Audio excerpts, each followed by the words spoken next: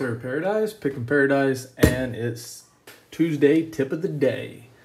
So uh, I think this is number eight or number nine. I think it's number nine, ninth episode. And your tip for Tuesday today is going to be never pick the same lock twice. So, uh, especially beginners, they'll do this. They'll make this mistake. They'll get one lock, and uh, I don't know why I want to actually grab a lock, but um, they'll they'll get one lock. You know, say like a, an ABUS 5550 because that's what I'm holding. Uh, they'll grab that and then they'll just pick it and they'll pick it and they'll pick it and they'll pick it and they'll pick it.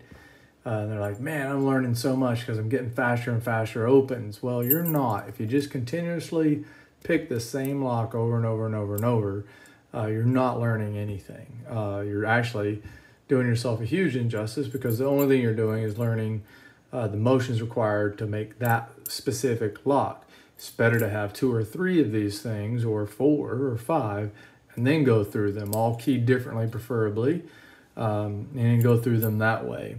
Uh, that will just help you listen to the pins and understand what the lock is telling you to do instead of just remembering uh, how to open that one specific lock.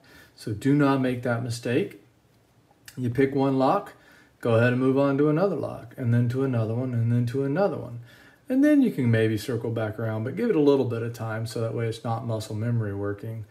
Um, now, there is uh, exceptions. So you could pick this lock, and then if you kind of thought you learned something or felt something or just wanted to kind of really learn its binding order, then okay, fine. Go ahead and go back and pick it uh, a second or third time in a row if you're going after something specific that you're trying to learn.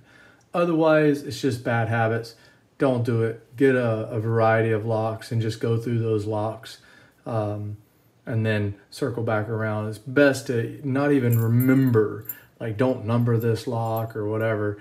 Um, it's better better not to even remember this lock or how it acts because uh, when I first was practicing a whole lot with 1100s, I would have like 10 or 12 of them, and no kidding, they would all be the same color, but I could still tell how one specific lock was, and I would remember it uh, based off of like little scratches on the face or on the core. So that's your tip for Tuesdays. Um, don't pick same lock twice in a picking session. Aloha.